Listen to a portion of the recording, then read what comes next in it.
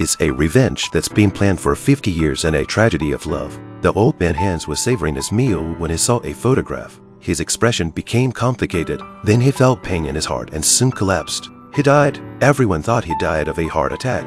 Only the owner of the restaurant said he died to a song called Gloomy Sunday. He said that anyone who understood the song would kill themselves and that it was banned in many countries. But no one knew it was written because of love. And a beautiful woman. Every Jew wants to grow his business, and Larry was no exception. A couple of record agents were dining in the store after a concert in Vienna. Larry asked Andrew to play the song Gloomy Sunday.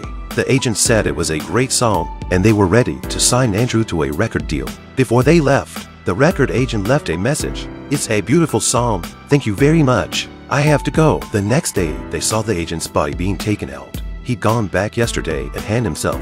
The accident didn't stop Larry from making a record of Andrew's tune.